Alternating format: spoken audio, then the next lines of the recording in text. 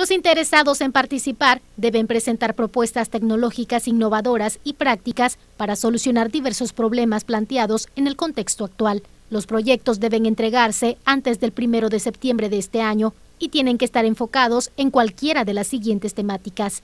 Va encaminado a los temas específicos priorizados por nuestro gobierno.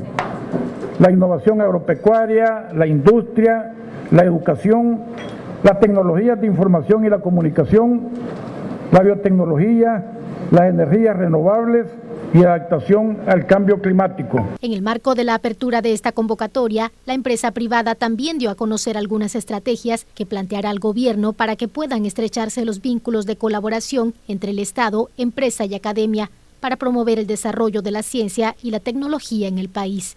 Por eso nos hemos propuesto como objetivo eh, dentro de este esquema de innovación la priorización de proyectos estratégicos para el desarrollo de la agroindustria, mejores y sólidos encadenamientos productivos, una nueva cultura de la innovación para las empresas y los emprendimientos, una mejor vinculación de la academia y las empresas para generar nuevas oportunidades de negocio y una mayor adopción de ciencia y tecnología para mejorar la productividad sumando esfuerzos en una política de alianza en que estamos las instituciones del sector público, del sector privado, académicos, eh, organismos nacionales e internacionales.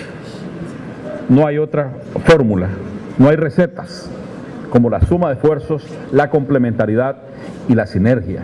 El CONICIT premiará al proyecto ganador del primer lugar con un fondo de mil dólares para que pueda echarse a andar como idea de negocio. Los patrocinadores del evento también aportarán otros reconocimientos como equipos tecnológicos.